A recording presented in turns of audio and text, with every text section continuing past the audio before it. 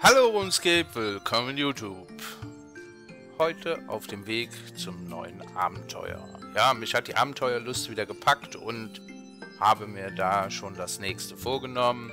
Geplant habe ich jetzt mal ein paar schon länger bestehende Abenteuer, die ich noch offen habe, aufzuholen. Ich schaue mal ins Abenteuerbuch und äh, ja, vorgenommen habe ich mir den Fall der Mächtigen, was noch als Meisterabenteuer gilt und äh, wohl das Schwierigste sein wird von der ganzen Sache, jedenfalls was die Kampfsituation angeht. Und das möchte ich gerne hinter mich bringen. Also schauen wir mal, was hier so steht. Sprich mit Urtak in Dorgischkan. Also heißt es auf nach Dorgischkan. Da werden wir dann gleich mal schauen, dass wir uns da noch eine Teleportkugel aus der Bank holen. Äh, Voraussetzungen wären der ausgewählte Befehlshaber, mein Arm geht auf Reisen, der Tod in Not, Stufe 79 in Angriff, Stärke, Lebenspunkte, Verteidigung, Berserker und den Borg im Chaos-Tunnel muss einmal besiegt sein. Benötigte Gegenstände. Da wäre eine Lichtquelle, Kampfausrüstung und Essen werden dringend empfohlen. Also wird es da schon ganz schön heftig zur Sache gehen. Kampfstufe, die Fähigkeit, einen Gegner der Stufe 210 zu bezwingen. Ja, da werden wir uns bemühen.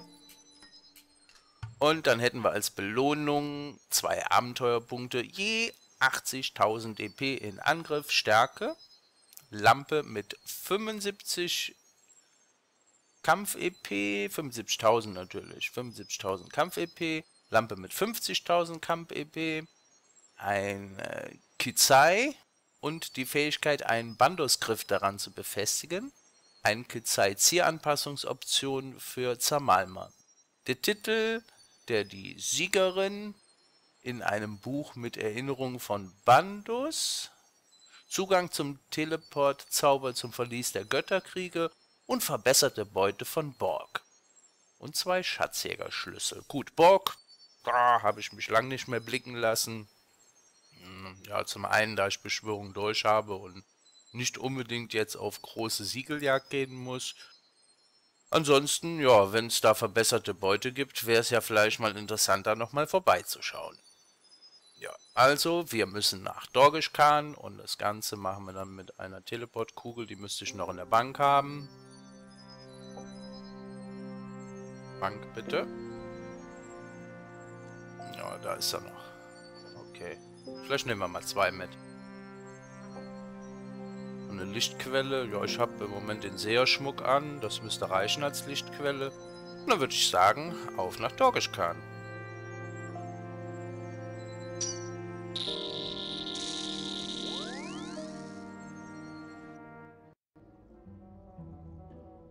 Okay, jetzt sind wir in Dorgischkan. Urtak müssen wir finden. Urtak. Irgendwo im Norden war der. Jetzt gehen wir erstmal raus, gucken wir mal, wo wir gelandet sind.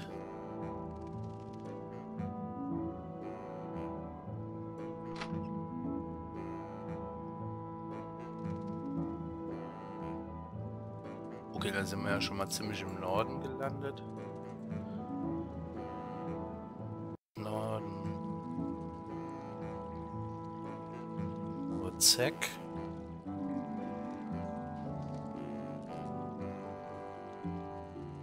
Urzek. war jetzt der Urtakt, ne? Urtal, na fast. War denn nicht hier irgendwo eine Höhle? Mal hier rein. Wen haben wir denn hier? Keinen? Nö. Hier oben vielleicht?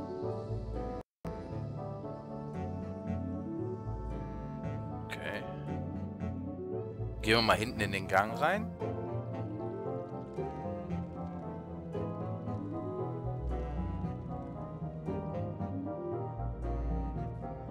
Ist nicht. Hier war auch noch einer, ne?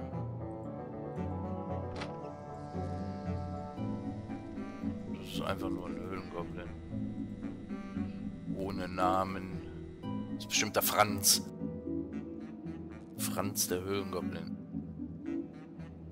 Ja. Mhm. Okay. War der nicht hier draußen? Wo war der Urtak? Ich weiß es echt nicht.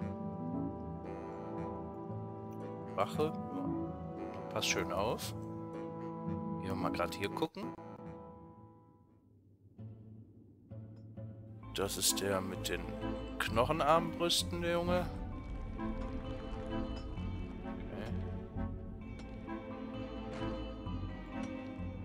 Misttag, ja. Nee, nee, nee. Also ist der Urtag auch nicht hier. Dann wird er doch da drinnen sein, denke ich mal.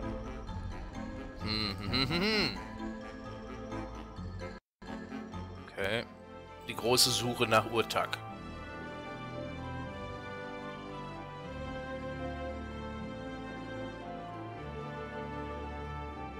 Also hier ist er auch nicht.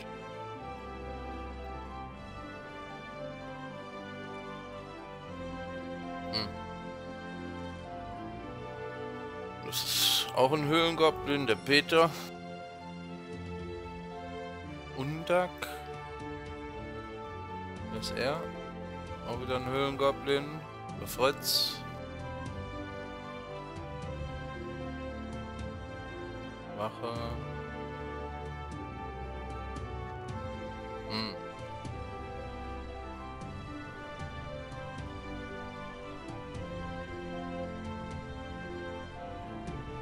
Der Bursche?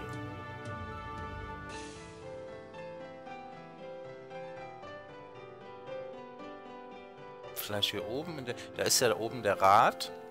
Vielleicht ist er hier irgendwo. Schauen wir mal.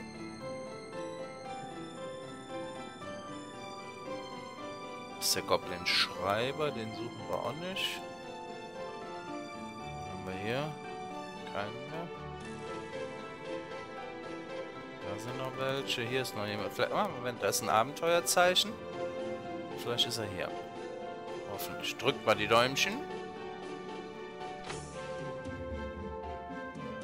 Tag. Urtag. Haha. Haben wir doch. Hallöchen.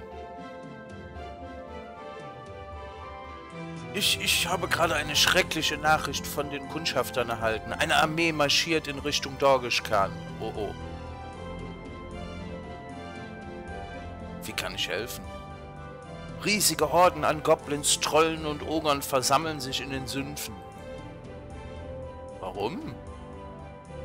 Ich weiß es nicht. Vielleicht hat es etwas mit Bandos Tod zu tun. Was könnten Sie von uns wollen? Sie müssen herausfinden, was Sie tun. Ich versuche, Ihre Vorhaben irgendwie zu verzögern oder sie aufzuhalten. Werden Sie uns helfen? Ja klar, machen wir doch. Hatten wir ja vor. Gut. Das erste, was Sie tun müssen, ist... Oh.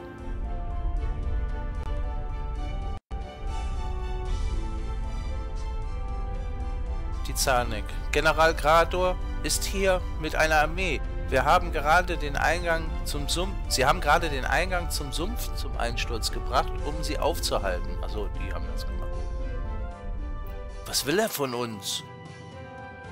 Er macht uns aus irgendeinem Grund für Bandos Niederlage verantwortlich. Sie glauben nicht daran, dass ihr großer, hoher Kriegsgott verlieren könnte und Grador sucht nach einem Sündenbock. Was soll ich tun? Wir können keine Armee dieser Größe bekämpfen und der Einsturz wird sie nicht lange aufhalten. Ich werde mit dem Rat über unsere Evakuierung sprechen. Gehen Sie zu Ihren Anführern. Sie müssen mit ihnen sprechen. Versuchen Sie, sie zu verlangsamen. Wenn Sie können, halten Sie sie auf. Nach Bandos Tod dachte ich, wir wären ihn endlich los. Und nun das. In Ordnung, ich bin dabei. Grador und die anderen haben sich in den Sümpfhöhlen versammelt. Unser Eingang ist versperrt, also müssen Sie einen Umweg machen. Sie kennen den Weg. Der Eingang ist im Sumpf von Lumbridge unter dem alten Baum. Ah, kenne ich noch. Okay. Ja, dann gehen wir mal in den Sumpf. Mach's gut, Zanik. Wir sehen uns. Ciao, ciao. Ja, also auf nach Lumbridge.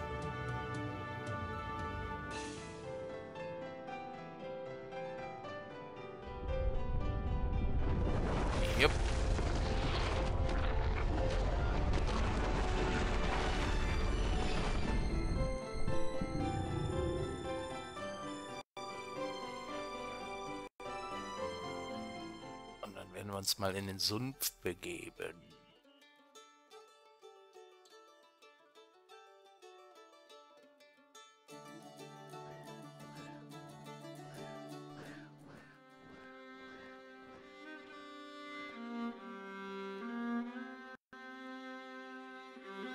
Jetzt müssen wir hier ein Stückchen nach Westen.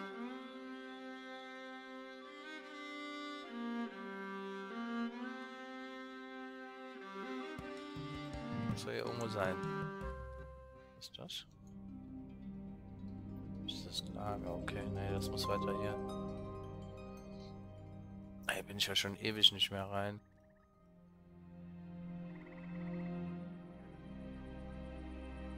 Ah, das sieht doch schon gut aus hier.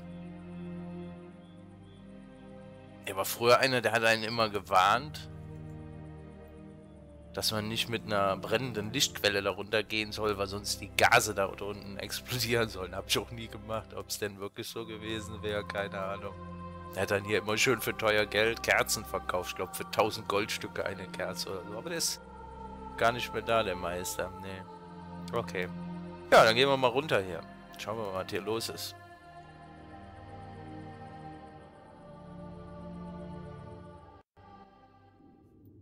Ach, da sind schon die Goblins. Die sind ja normal nicht hier. Das ist echt, wie die die Höhlen überarbeitet haben. Das beeindruckt mich immer. Das ist echt toll geworden, ne? wenn man bedenkt, was das eine kahle Sache hier früher war. Bergtroll. Tag.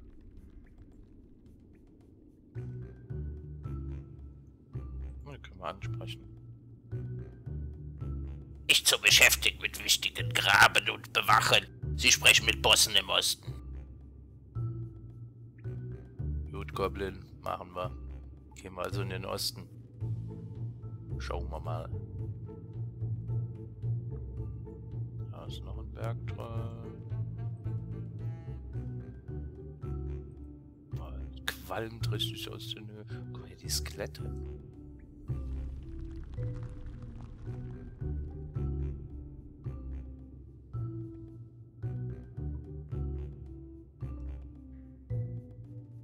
Einfach nur normale.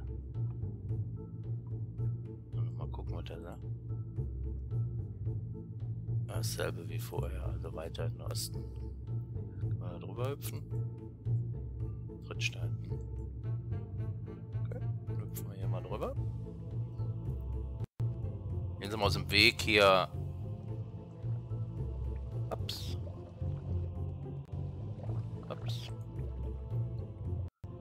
Weitergehen. Oh, da sind sie. Da haben wir den General Grador. Zarador. Papa. Da hinten ist der Borg. Ach, haben sie den Borg endlich mal überarbeitet. Guten Tag, die Herren. Sind wir denn so grimmig? Papa hat seine Keule. Ach, Warzengesicht und Schiefnase sind auch da. Gut. Die zwei sind wir am sympathischsten, also sprechen wir die mal an. Schaufel am besten für Steine graben. Nein, Spitzhacke am besten, du blöd blöd. Dumme Goblins, Ruhe oder Grador euch beide zerquetschen.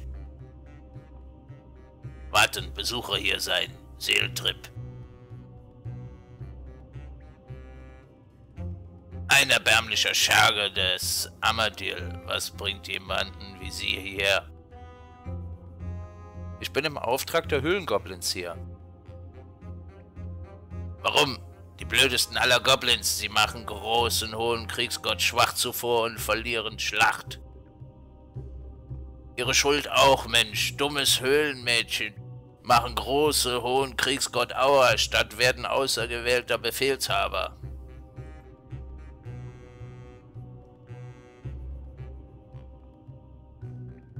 Ich habe meine Freundin beschützt.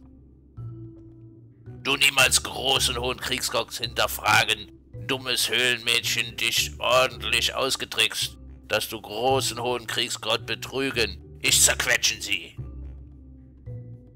Bandos hat mir erzählt, wie sie und Zanig ihn geschwächt haben, indem sie seinen Avatar zerstörten. Grador führen Armee hierher. Wir finden Versteck von Höhlenschwächlingen und zerquetschen sie. Allerdings haben die Höhlengoblins ihren Eingang zum Einsturz gebracht, also stecken wir hier fest und streiten uns.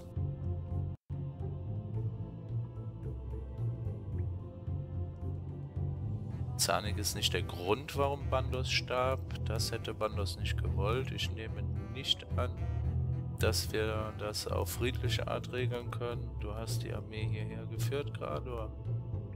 Gefragt. Zahnig ist nicht der Grund, warum Bando starb. Es gibt keine andere Erklärung. Der Gott des Kriegs besiegt von einem großen Vogel und seine Armee an Einfallspinseln. Wir haben uns bereits den Menschen entledigt, die auf so spektakuläre Weise daran gescheitert sind, die notwendigen Vorräte aus der Wildnis zu beschaffen. Nur Zanik ist noch übrig, und wir werden uns in Bandos Namen rächen. Das hätte Bandos nicht gewollt. Wenn Sie das wirklich glauben, kennen Sie Bandos schlecht. Nur die Stärksten verdienen ein Weiterleben, alle anderen müssen entfernt werden. Die Höhlengoblins zu vernichten ist genau das, was Bandos gewollt hätte.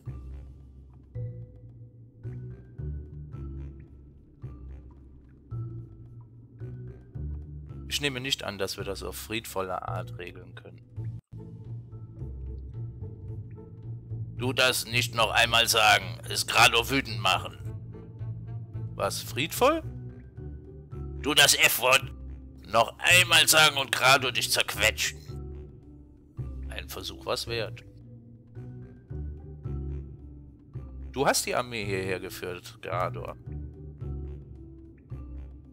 Als Sarador Geschichte erzählen, wir alle wütend. Ich Tisch zerhauen und Tür auch, so wütend auf dummes Höhlenmädchen. Andere hören auch Geschichte, aber haben keinen Plan. Als General, ich machen kluge Strategie und sie anführen. Genug gefragt. Warum hast du das Kommando, Grador? Sador war Bandos Stellvertreter im Krieg gegen Amadil.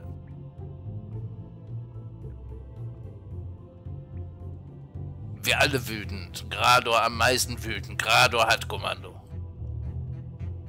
Bandus war der Meinung, der Stärkste soll der Anführer sein. Bist du der Stärkste? Grador stark, viele Goblins, Mensch, Vogelmann mit Fäusten zerquetschen. Du behauptest also stärker zu sein als alle anderen hier? Du wollen, dass ich zerquetschen dich? Du nicht am stärksten, Goblins am stärksten. Du nur einer, wir viele.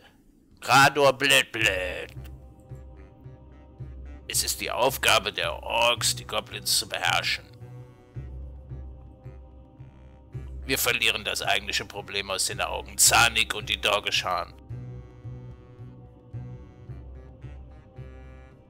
Schweigen. Zador, das Wichtigste. Zador. Borg, du bezweifelst Stärke von Grador. Ich dich zerquetschen. Trolle Steine werfen. Steine machen Aua, also Trolle am stärksten. Oh, Troll endlich auch Mund aufmachen. Moment, Papa. Ich dachte, du wärst tot. Du töten Papa von Papa, Papa essen Papa von Papa, jetzt Name Papa. Das erklärt es natürlich, ja, ganz klar. Ja, ja, alle sind sehr stark und mächtig. Wir müssen jetzt aber einen Weg durch einen eingestürzten Höhleingang finden. Und Zanik töten. Für Bandos. Du wollen jetzt anführen? Goblins auch stärker als du. Um Himmels Willen. Moment. Ich weiß, wie wir das auflösen.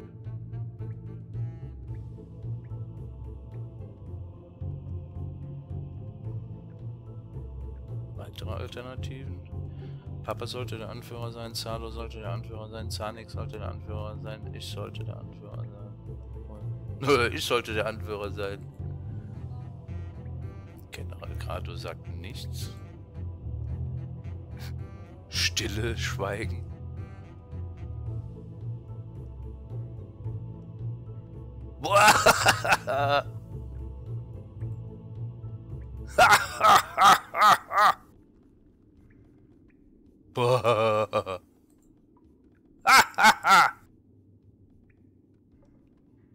Was wir brauchen, ist eine Möglichkeit, um ein für alle Male zu entscheiden, wer der Stärkste ist. Ich wissen, wie Goblins kennen, Legenden von großem hohen Kriegsgott von bevor Zeit von viele Kriege.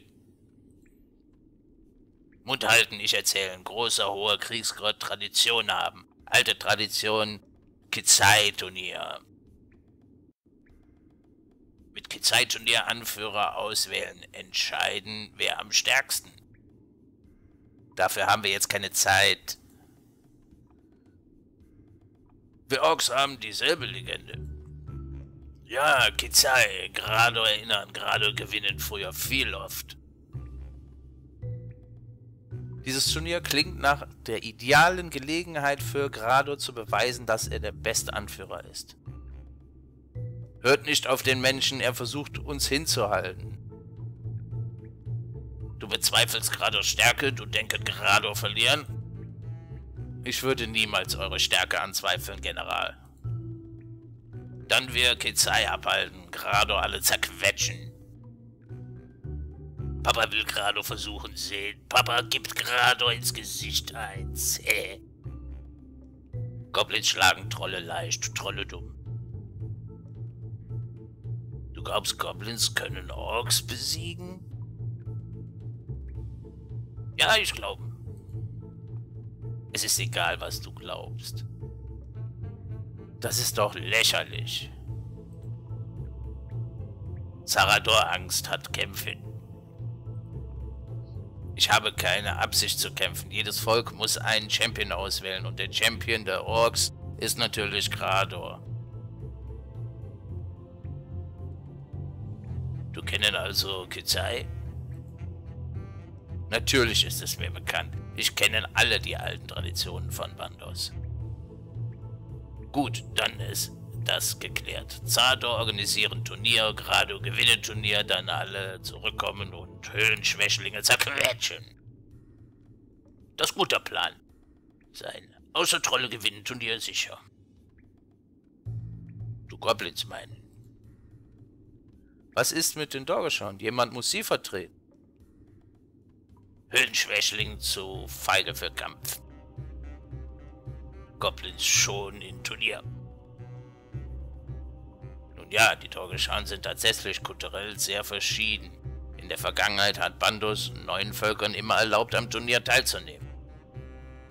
Nachdem er sie nicht als Goblins anerkannt hat, sollten sie als eigenständiges Volk am Turnier teilnehmen dürfen. Toll! Moment, was haben Sie vor, Zarador? Ich denke einfach, dass die Dorgeshan die Gelegenheit haben sollten, ebenfalls einen Champion auszuwählen der am Turnier teilnimmt. Vielleicht Zanik. Haha, guter Plan. Dann Grador zerquetschen, mickriges Höhlenmädchen, das großen, hohen Kriegsgott zuvor schwächen. Ich werde stellvertretend für die Doggeschon kämpfen, nicht Zanik. Warum?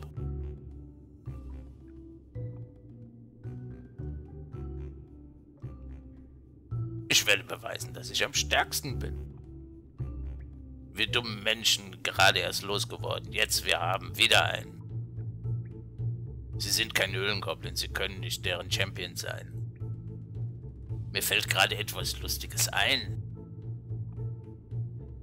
Was? Es entspricht nicht Bandos Tradition, einen stellvertretenden Champion zu erlauben, wie das bei den schwächlichen Menschen üblich ist. Wenn ich mich richtig erinnere, darf sich der Champion jedoch einer, einer dressierten Kampfbestie bedienen. Sie meinen doch nicht... In Ordnung. Seelentrip wird als Sanix trainierte Bestie am Turnier teilnehmen. Mir ist jedes Mittel recht. Dieses Turnier wird getreu der wahren bandosianischen Tradition abgehalten. Es ist nichts für die zarten Gemüter der Menschen. Ich habe keine Angst. Also gut, das Turnier kann nur an einem Ort stattfinden, auf Jubiusk. Ich werde mich jetzt dort hinaufmachen, um es vorzubereiten. Wie können Sie so einfach nach Jubiusk reisen? Bandos hat ein dauerhaftes Portal geöffnet. Es befindet sich am Fuß seines Turms. Mensch, Sie sollten die Dorge schon darüber informieren, dass Ihre Verzögerung funktioniert hat. Ihr Untergang ist jedoch nur kurzfristig aufgeschoben. Hey, okay. Ja, war ja lustig. Na, Digga. Müssen wir nicht mal wieder auf die Omme kloppen, wa? Mal sehen, ob wir gegen alle antreten müssen, ja. Na gut. Heißt, wir müssen wieder zu den Dorgeschan. Gut, dass wir noch eine Kugel mit haben. Da können wir uns direkt teleportieren. Das machen wir direkt mal.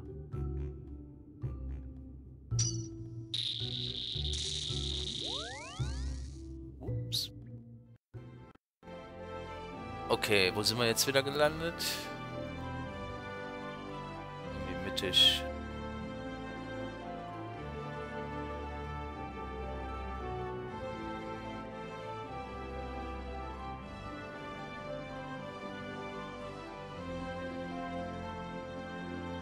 Brauchen eine Treppe.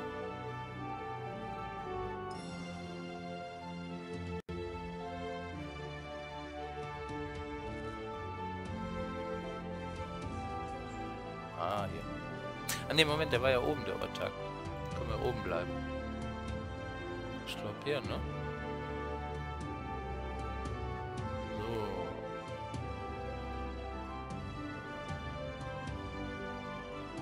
Ne, ne, einen davor. Das war der Schreiber.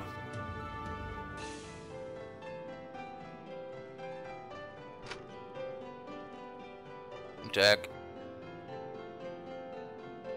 Ansprechen oder Tag. Wir sind noch nicht tot, also nehme ich an, Sie haben gute Nachrichten. Mehr oder weniger, es ist eine etwas längere Geschichte. Ich habe die Bandosianer überzeugt, mit dem Angriff zu warten, bis sie durch ein Turnier entschieden haben, wer von ihnen das Kommando hat. Nun ja, jede Ablenkung soll, Ablenkung soll uns recht sein. Ich habe mir auch erlaubt, die Dorgeschan für den Wettbewerb anzumelden. Zrador war sehr daran interessiert, weil er dachte, es würde ihm leicht machen, an Zanik heranzukommen. Aber ich habe vereinbart, als ähm, Zaniks Assistent zu fungieren und an ihrer Stadt zu kämpfen. Moment, ich bin der Champion der Dorgeschan. Ja, aber ich glaube, es wäre nicht sicher für dich, am Turnier teilzunehmen. Die gute Nachricht ist, dass du theoretisch zur Anführerin der Bandosianer wirst, wenn ich gewinne. Was ist die schlechte Nachricht? Wenn ich verliere oder wenn einer von uns stirbt, werden die Dorgeschan aus dem Turnier ausgeschlossen und der Angriff geht sehr wahrscheinlich weiter. Nun ja, es ist ziemlich riskant. Es kommt ganz auf dich an. Bist du zuversichtlich?